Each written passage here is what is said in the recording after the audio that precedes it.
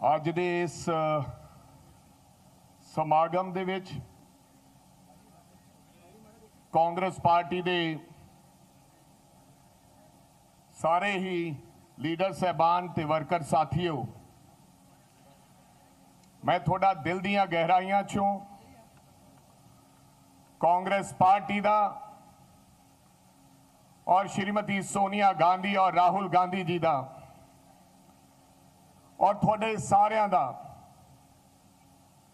ਆਪ ਦਾ ਸਿਰ ਝੁਕਾ ਕੇ ਕਾਂਗਰਸ ਪਾਰਟੀ ਦੇ ਪਰਿਵਾਰ ਦਾ ਧੰਨਵਾਦ ਕਰਦਾ ਹਾਂ ਕਿ ਆ ਜਿਹੜਾ ਤੁਸੀਂ ਮੈਨੂੰ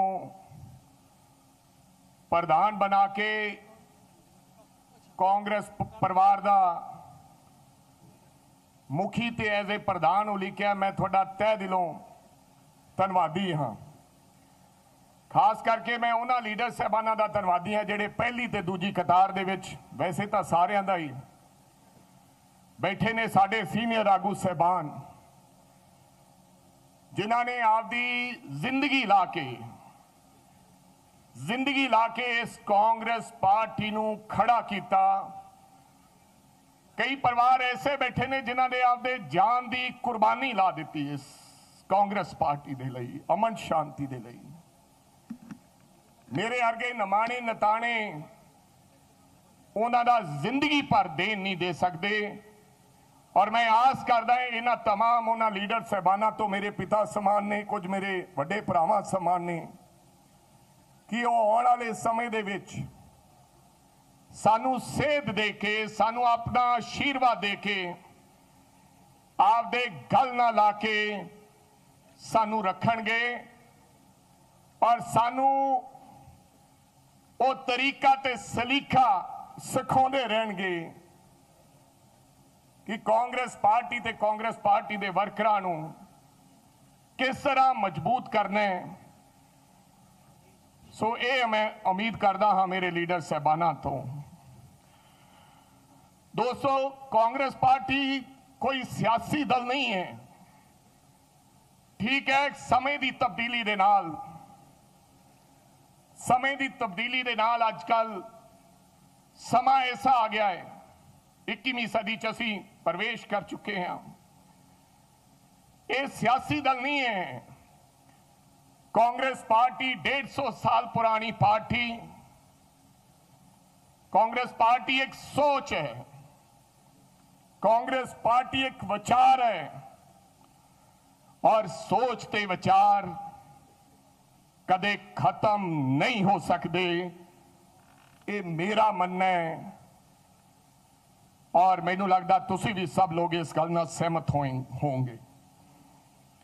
ਇਹਨਾਂ ਚੁਣੌਤੀਆਂ ਇਹਨਾਂ ਚੁਣੌਤੀਆਂ ਤੇ ਜਿੱਤ ਪ੍ਰਾਪਤ ਕਰਨ ਲਈ ਸਾਨੂੰ ਆਪਣੇ ਆਪ 'ਚ ਅਸੀਂ ਜਿੰਨੇ ਲੋਕ ਇੱਥੇ ਬੈਠੇ ਆ ਮੈਨੂੰ ਆਪਣੇ ਆਪ 'ਚ ਤਿੰਨ ਡੀ ਫੋਲੋ ਕਰਨ ਪੈਣਗੇ। ਡਿਸਪਲਿਨ ਡੈਡੀਕੇਸ਼ਨ ਡਾਇਲੌਗ ਸਭ ਤੋਂ ਮਹੱਤਵਪੂਰਨ ਗੱਲ ਹੈ ਅੱਜ। ਅਗਰ ਅਸੀਂ ਦੁਬਾਰਾ ਫਿਰ ਕਾਂਗਰਸ ਪਾਰਟੀ ਨੂੰ ਮਜ਼ਬੂਤੀ ਦੇ ਵੱਲ ਲੈ ਕੇ ਜਾਣਾ ਚਾਹੁੰਦੇ ਹਾਂ, ਨਾ ਕੇਵਲ ਕਾਂਗਰਸ ਪਾਰਟੀ ਨੂੰ, ਚਾਹੇ ਕੋਈ ਕਾਰੋਬਾਰੀ ਹੋਵੇ, ਚਾਹੇ ਕੋਈ ਬਿਜ਼ਨਸਮੈਨ ਹੋਵੇ ਕੋਈ ਵਿਅਕਤੀ ਹੋਵੇ ਜਿਸ ਵਿਅਕਤੀ ਦੇ ਅੰਦਰ ਡਿਸਪਲਿਨ ਨਹੀਂ ਹੈ, ਜਿਸ ਪਾਰਟੀ ਦੇ ਅੰਦਰ ਡਿਸਪਲਿਨ ਨਹੀਂ ਹੈ, ਜਿਸ ਕਾਰੋਬਾਰ ਦੇ ਅੰਦਰ ਡਿਸਪਲਿਨ ਨਹੀਂ ਹੈ, ਉਹ ਵੱਧ ਫੁੱਲ ਨਹੀਂ ਸਕਦਾ। ਸੋ ਇਸ ਕਰਕੇ ਮੈਂ ਕਿਹਾ ਕਿ ਤਿੰਨ ਡੀਜ਼ ਜਿਹੜੇ ਸਾਨੂੰ ਆਪਦੇ ਜੀਵਨ ਦੇ ਵਿੱਚ ਅਪਣਾਉਣੇ ਪੈਣਗੇ, ਅਗਰ ਅਸੀਂ ਕਾਮਯਾਬੀ ਵੱਲ ਵਧਣਾ ਚਾਹੁੰਦੇ ਹਾਂ। ਦੂਸਰਾ ਡੀ ਡੈਡੀਕੇਸ਼ਨ ਕਿ ਕਿੰਨੀ ਤੁਹਾਡੇ ਚ ਡੈਡੀਕੇਸ਼ਨ ਹੈ? ਕਿੰਨੀ ਲਗਨ ਹੈ? ਕਿੰਨੀ ਲਗਨ ਦੇ ਨਾਲ ਤੁਸੀਂ ਆਪ ਦਾ ਕੰਮ ਸੰਭਾਲਦੇ ਹੋ? ਬੇਸ਼ੱਕ ਉਹ ਕੋਈ ਵੀ ਕੀਤਾ ਹੈ। ਸੋ ਅਗਰ ਕਿਸੇ ਵੀ ਕੰਮ ਦੇ ਵਿੱਚ ਡੈਡੀਕੇਸ਼ਨ ਆ ਜਾਏ, ਤਾਂ ਮੈਨੂੰ ਲੱਗਦਾ ਕਿ ਉਸ ਕੰਮ ਨੂੰ ਕਾਮਯਾਬ ਹੋਣ ਤੋਂ ਕੋਈ ਰੋਕ ਨਹੀਂ ਸਕੇਗਾ। ਤੇ ਤੀਜਾ ਮੈਂ ਕਿਹਾ ਡਾਇਲੌਗ ਡਾਇਲੌਗ ਤੋਂ ਮਤਲਬ ਹੈ ਤੁਹਾਡੇ ਵਿਚਾਰ, ਤੁਹਾਡੀ ਗੱਲ, ਆਮ ਜਨਤਾ ਦੀ ਗੱਲ, ਲੋਕਾਂ ਦੀ ਗੱਲ, ਕਾਂਗਰਸ ਕਾਰਿਆਕਰਤਾ ਦੀ ਗੱਲ, ਕਾਂਗਰਸ ਦਾ ਜਿਹੜਾ ਝੰਡਾ ਫੜ ਕੇ ਚੌਂਕ 'ਚ ਖੜਾ, ਉਹ ਗਰੀਬ ਵਿਅਕਤੀ ਜਿਹੜਾ ਹਮੇਸ਼ਾ ਕਾਂਗਰਸ ਪਾਰਟੀ ਦੀ ਉੱਚੀ ਸੋਚ ਵਾਸਤੇ ਲੜਾਈ ਲੜਦਾ ਹੈ, ਕਾਮਨਾ ਕਰਦਾ ਹੈ, ਅਰਦਾਸਾਂ ਕਰਦਾ ਹੈ, ਉਹਦੇ ਨਾਲ ਡਾਇਲੌਗ ਉਹਨੂੰ ਪੁੱਛ ਕੇ ਤੇ ਆਪਸ ਵਿੱਚ ਇੱਕ ਮੇਲ ਮਿਲਾ ਕੇ ਸਭ ਲੋਕਾਂ ਦਾ, ਇਹ ਨਹੀਂ ਕਿ ਅਗਰ ਰਾਜਾ ਵੜਿੰਗ ਪ੍ਰਦੇਸ਼ ਕਾਂਗਰਸ ਕਮੇਟੀ ਦਾ ਮੁਖੀਆ ਹੈ, ਤੇ ਉਹ ਕਿਸੇ ਨਾਲ ਡਾਇਲੌਗ ਨਾ ਕਰੇ, ਉਹ ਆਪਦੇ ਮਨ ਮਰਜ਼ੀ ਦੀ ਰਣਨੀਤੀ ਬਣਾਵੇ, ਔਰ ਅਗਰ ਮੈਂ ਆਪਦੇ ਮਨ ਮਰ- ਮਰਜ਼ੀ ਦੀ ਰਣਨੀਤੀ ਬਣਾਵਾਂਗਾ, ਤਾਂ ਮੇਰਾ ਖਿਆਲ ਫਿਰ ਅਸੀਂ ਕਾਮਯਾਬੀ ਵੱਲ ਵੱਧ ਨਹੀਂ ਸਕਾਂਗੇ। ਇਹ ਨਾ ਕੇਵਲ ਨਾ ਕੇਵਲ ਇਹ ਪਾਰਟੀ 'ਚ ਹੈ ਜੇ ਫੈਕਟਰੀ ਵੀ ਕਿਸੇ ਨੇ ਚਲਾਉਣੀ ਹੈ ਤਾਂ ਉਹਦੇ 'ਚ ਵੀ ਅਗਰ ਤੁਸੀਂ ਆਪਦੇ तमाम ਸਾਥੀਆਂ ਨਾਲ ਬੈਠ ਕੇ ਡਾਇਲੌਗ ਤੇ ਇੱਕ ਟੀਮ ਵਰਕ ਇਕੱਠੇ ਹੋ ਕੇ ਚੱਲਣ ਦੀ ਜਿਹੜੀ ਕਲਪਨਾ ਕਰੋਗੇ ਤਾਂ ਮੈਨੂੰ ਲੱਗਦਾ ਤੁਸੀਂ ਕਾਮਯਾਬੀ ਵੱਲ ਵੱਧ ਸਕਦੇ ਹੋ ਇਸ ਤਿੰਨ ਡੀ ਮਤਲਬ ਕਿ ਡਿਸਪਲਿਨ ਡੈਡੀਕੇਸ਼ਨ ਡਾਇਲੌਗ ਦੇ ਨਾਲ ਅਸੀਂ ਇੱਕ ਨਵੇਕਲੀ ਕਾਂਗਰਸ ਦੀ ਹੋਂਦ ਰੱਖਣੀ ਚਾਹੁੰਦੇ ਹਾਂ ਨਵੇਕਲੀ ਕਾਂਗਰਸ ਕੋਈ ਵੱਖਰਾ ਕੰਮ ਨਹੀਂ। ਇਹਨਾਂ ਚੀਜ਼ਾਂ ਨੂੰ ਅਪਣਾਉਣਾ ਚਾਹੁੰਦੇ ਹਾਂ ਤੇ ਤੁਹਾਡੀ ਗੱਲਬਾਤ ਦੇ ਰਾਹੀਂ ਅਸੀਂ ਕਾਂਗਰਸ ਪਾਰਟੀ ਨੂੰ ਅੱਗੇ ਲੈ ਕੇ ਜਾਣਾ ਚਾਹੁੰਦੇ ਹਾਂ ਦੋਸਤੋ, ਮੈਨੂੰ ਅੱਜ ਧੰਨਵਾਦ ਕਰਨ ਵਾਸਤੇ ਕਿਹਾ ਗਿਆ ਹੈ। ਮੈਂ ਤੁਹਾਨੂੰ ਸਾਰਾ ਗੜੀ ਦੀ ਉਸ ਕਹਾਣੀ ਵੱਲ ਦੱਸਣਾ ਚਾਹਣਾ ਜਿਹੜੀ ਆਪਣੇ ਆਪ ਦੇ ਵਿੱਚ ਇੱਕ ਹੌਸਲਾ ਦਿੰਦੀ ਹੈ। ਅੰਗਰੇਜ਼ ਹੁਕਮਰਾਨ ਸਰਕਾਰ ਦੇ ਅੰਦਰ ਸਾਡੀ ਇੱਕ ਸਿੱਖ ਰੈਜੀਮੈਂਟ ਹੋਇਆ ਕਰਦੀ ਸੀ। ਸਾਰਾ ਗੱਡੀ ਦੀ ਦਾਸਤਾ ਮੈਨੂੰ ਲੱਗਦਾ ਤੁਸੀਂ ਸਭ ਨੇ ਉਹ ਜਿਹੜੀ ਫਿਲਮ ਆਈ ਸੀ, ਉਹਦੇ ਰਾਹੀਂ ਸੁਣੀ ਹੋਣੀ ਹੈ ਕਿ ਉਹ 21 ਲੋਕ, ਸਾਰਾ ਜਿਹੜੀ ਇੱਕ ਟਾਵਰ ਸੀਗਾ ਵਿਚਾਲੇ, ਦੋ ਕਿਲਿਆਂ ਦੇ ਵਿਚਾਲੇ, ਇਹ ਮੇਰਾ ਖਿਆਲ 1897 ਦੀ ਗੱਲ ਹੈ। ਤੇ ਅਫਗਾਨੀਆਂ ਨੇ, ਕਬੀਲੇ ਵਾਲਿਆਂ ਨੇ। ਉਹ ਜਿਹੜਾ ਟਾਵਰ ਸੀ, ਉਹ ਸ਼ੀਸ਼ੇ ਦੇ ਰਾਹੀਂ, ਹਾਲਾਂਕਿ ਡਿਸਟੈਂਸ ਕੋਈ ਜ਼ਿਆਦਾ ਨਹੀਂ ਸੀ ਦੋਵਾਂ ਕਿਲਿਆਂ ਦਾ।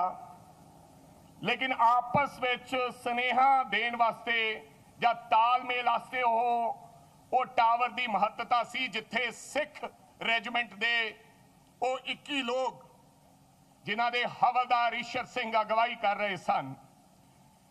ਤੇ ਜਦੋਂ ਅਫਗਾਨੀਆਂ ਨੇ ਇਹ ਗੱਲ ਕਹੀ ਅਫਗਾਨੀਆਂ ਨੇ ਕਿਹਾ ਵੀ ਪਹਿਲਾਂ ਆਪਾਂ ਟਾਵਰ ਤੇ ਹਮਲਾ ਕਰੀਏ। ਜੇ ਟਾਵਰ ਆਪਾਂ ਇਹਨਾਂ ਨੂੰ ਢਹਿ ਢੇਰੀ ਕਰ ਲਿਆ, ਤਾਂ ਫੇਰ ਸਮਝੋ ਅਸੀਂ ਇਹਨਾਂ ਕਿਲਿਆਂ ਤੇ ਫਤਿਹ ਹਾਸਲ ਕਰ ਲਾਂਗੇ। ਕਿਉਂਕਿ ਅਗਰ ਇਹ ਸਨੇਹਾ ਦੇਣਗੇ ਤੇ ਉਹਦੇ ਨਾਲ ਉਹਨਾਂ ਨੂੰ ਬੈਕਅਪ ਮਿਲੇਗਾ ਤੇ ਫਿਰ ਹੋਰ ਜਿਹੜੀ ਉਹਨਾਂ ਦੀ ਆਰਮੀ ਜਾਂ ਫੋਰਸ ਉੱਥੇ ਪਹੁੰਚੇਗੀ। ਸੋ ਜਦੋਂ ਉਹਨਾਂ ਨੇ ਹਮਲਾ ਕੀਤਾ ਅਫਗਾਨੀਆਂ ਨੇ ਤੇ ਕਬੀਲੇ ਵਾਲਿਆਂ ਨੇ ਤੇ ਉਹ ਸਿੱਖ, ਕਿਉਂਕਿ ਪੰਜਾਬ ਪੰਜਾਬੀ ਤੇ ਪੰਜਾਬੀਅਤ ਅਣਖੌਰ ਗੈਰਤਮੰਦ ਲੋਕ ਨੇ। ਇਹ ਮਰ ਸਕਦੇ ਨੇ, ਲੇਕਿਨ ਨਾ ਭੱਜ ਸਕਦੇ ਨੇ, ਨਾ ਹਰ ਸਕਦੇ ਨੇ। ਤੇ ਉਹਨਾਂ ਨੇ ਹਵਲਦਾਰ ਈਸ਼ਰ ਸਿੰਘ ਦੀ ਅਗਵਾਈ ਦੇ ਵਿੱਚ ਉਹਨਾਂ 21 ਲੋਕਾਂ ਨੇ ਇਹ ਇਤਿਹਾਸ ਕਹਿੰਦਾ, ਮੈਂ ਨਹੀਂ ਕਹਿੰਦਾ, ਇਹ ਕਿਤਾਬਾਂ ਕਹਿੰਦੀਆਂ ਨੇ। ਕਿ 600 ਲੋਕਾਂ ਨੂੰ ਮਾਰ ਗਿਰਾਇਆ ਤੇ ਅੰਤਮ ਸਮੇਂ ਤੱਕ, ਅੰਤਮ ਸਮੇਂ ਤੱਕ ਲੜਦੇ ਰਹੇ। ਸੋ ਉਹਨਾਂ ਨੇ ਸੋਚਿਆ ਸੀ ਕਿ ਜਲਦੀ ਇਹਨਾਂ ਤੇ ਫਤਿਹ ਪਾ ਲਾਂਗੇ ਤੇ ਕਬਜ਼ਾ ਕਰ ਲਾਂਗੇ। ਇੰਨੇ ਚ ਮਗਰੋਂ ਬੈਕਅਪ ਮਿਲਿਆ ਤੇ ਹੋਰ ਜਿਹੜੀ ਸਾਡੀ ਆਰਮੀ ਉਹ ਲੜਦੇ ਲੜਦੇ ਸ਼ਹੀਦ ਹੋ ਗਏ। ਸਾਡੇ ਕੋਲੇ ਇਹੋ ਜੀਆਂ ਹਜ਼ਾਰਾਂ ਉਦਾਹਰਨਾਂ ਹੈ ਮੇਰੇ ਸਾਥੀਓ। ਮੈਂ ਅੱਜ ਇਸ ਮੰਚ ਤੋਂ ਇਹ ਕਹਿਣਾ ਚਾਹਣਾ ਕਿ ਅਖੀਰਲੇ ਦਮ ਤੱਕ, ਅਖੀਰਲੇ ਦਮ ਤੱਕ ਅਸੀਂ ਲੋਕ ਲੜਾਂਗੇ। ਇਸ ਪਾਰਟੀ, ਕਿਉਂਕਿ ਇਹ ਪਾਰਟੀ ਬਹੁਤ ਵਿਸ਼ਾਲ ਪਾਰਟੀ ਹੈ, ਇਹਦੇ ਵਿੱਚ ਹਜ਼ਾਰਾਂ ਲੋਕਾਂ ਦਾ, ਲੱਖਾਂ ਲੋਕਾਂ ਦਾ ਖੂਨ ਪਸੀਨਾ ਲੱਗਿਆ ਹੈ। ਜਿਨ੍ਹਾਂ ਨੇ ਆਪਣੀਆਂ ਸ਼ਹਾਦਤਾਂ ਦੇ ਕੇ ਇਹਨੂੰ ਸਿਰਜਿਆ ਸੋ ਅਸੀਂ ਅੰਤਮ ਸਮੇਂ ਤੱਕ ਲੜਦੇ ਰਵਾਂਗੇ। ਜਿਵੇਂ ਕਰਤਾਰ ਸਿੰਘ ਸਰਾਭਾ ਨੇ ਕਿਹਾ ਸੀ ਕਰਤਾਰ ਸਿੰਘ ਸਰਾਭਾ ਜੀ ਨੂੰ ਜਦੋਂ ਫਾਂਸੀ ਤੇ ਚੜਾਉਣ ਲੱਗੇ, ਤਾਂ ਉਹਨਾਂ ਨੇ ਕਿਹਾ ਕਿ ਤੁਸੀਂ ਛੋਟੀ ਉਮਰ ਹੈ ਤੁਹਾਡੀ। ਤੁਸੀਂ ਰਹਿਮ ਦੀ ਅਪੀਲ ਕਰ ਸਕਦੇ ਹੋ। ਤੁਹਾਡੀ ਫਾਂਸੀ ਜਿਹੜੀ ਹੈ, ਉਹ ਸਜ਼ਾ ਚ ਤਬਦੀਲ ਹੋ ਸਕਦੀ ਹੈ। ਤੁਸੀਂ ਦੇਸ਼ ਛੱਡ ਕੇ ਚਲੇ ਜਾਓ। ਲੇਕਿਨ ਕਰਤਾਰ ਸਿੰਘ ਸਰਾਭਾ ਨੇ ਹੁਕਮਰਾਨਾਂ ਨੂੰ ਕਿਹਾ ਕਿ ਮੈਨੂੰ ਜਲਦੀ ਫਾਂਸੀ ਦੇ ਫੰਦੇ ਤੇ ਚੜਾਓ। ਮੈਂ ਜਲਦੀ ਮਰਨਾ ਚਾਹਣਾ ਤੇ ਦੁਬਾਰਾ ਇੱਕ ਵਾਰ ਫੇਰ ਜਨਮ ਲੈ ਕੇ ਮੈਂ ਆਪਦੇ ਦੇਸ਼ ਵਾਸਤੇ ਸ਼ਹੀਦ ਹੋਣਾ ਚਾਹਣਾ ਹੈ। ਇਹ ਕਰਤਾਰ ਸਿੰਘ ਸਰਾਭਾ ਹਰਾਂ ਦੀ ਇਸ ਧਰਤੀ ਦੇ ਉਹਨਾਂ ਵਾਰਸਾਂ ਦੀ ਸੋਚ ਸੀ ਭਗਤ ਸਿੰਘ ਹੋਰਾਂ ਦੀ। ਸੋ ਬਹੁਤਾ ਕੁਝ ਨਾ ਕਹਿੰਦਾ ਹੋਇਆ। ਮੈਂ ਅੰਤ ਵਿੱਚ ਦੁਬਾਰਾ ਫੇਰ ਕਾਂਗਰਸ ਪਾਰਟੀ ਦਾ ਰਾਹੁਲ ਗਾਂਧੀ ਜੀ, ਸੋਨੀਆ ਜੀ ਦਾ ਹਰੀਸ਼ ਚੌਧਰੀ ਜੀ ਹੋਰਾਂ ਦਾ ਤੇ ਮੇਰੇ तमाम ਇਹ ਲੀਡਰ ਸਹਿਬਾਨਾਂ ਦਾ ਤੇ ਤੁਹਾਡਾ ਅੱਜ ਦਾ ਇਹ ਬਹੁਤ ਸਾਦਾ ਪ੍ਰੋਗਰਾਮ ਰੱਖਿਆ ਗਿਆ ਸੀ ਕਿਉਂਕਿ ਸਾਡੀ ਹੁਣੇ-ਹੁਣੇ ਪਾਰਟੀ ਦੇ ਅੰਦਰ ਸਾਨੂੰ ਫਤਵਾ ਨਹੀਂ ਮਿਲਿਆ ਔਰ ਅਸੀਂ ਇਹ ਸੋਚਿਆ ਕਿ ਇੱਕ ਸਾਦਗੀ ਦੀ ਪਰੰਪਰਾ ਸਾਨੂੰ ਪਾਉਣੀ ਚਾਹੀਦੀ ਹੈ ਔਰ ਉਸ ਤੋਂ ਬਾਅਦ ਅਸੀਂ ਆਮ ਲੋਕਾਂ ਨੂੰ ਸਾਡੇ ਉਹਨਾਂ ਸਾਥੀਆਂ ਨੂੰ ਜਿਹੜੇ ਜਿਹੜੇ ਸਾਨੂੰ ਪਿਆਰ ਕਰਦੇ ਆ ਉਹਨਾਂ ਦੇ ਕੋਲੇ ਜਾ ਜਾ ਕੇ ਉਹਨਾਂ ਨੂੰ ਮਿਲਣ ਦਾ ਉਪਰਾਲਾ ਕਰਾਂਗੇ।